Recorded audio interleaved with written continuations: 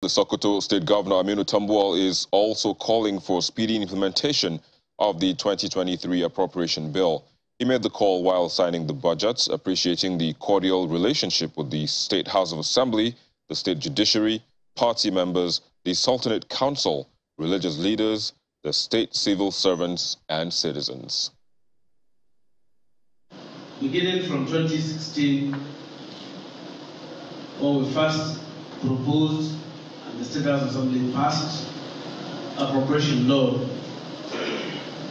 to the date, and in all that we have started since the commencement of this administration, we have had a very, very friendly, collaborative, and patriotic partnership with the State House of Assembly.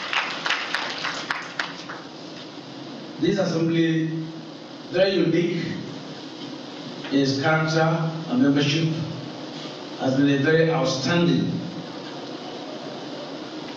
ninth assembly in the life of democracy of this state and indeed Nigeria at large.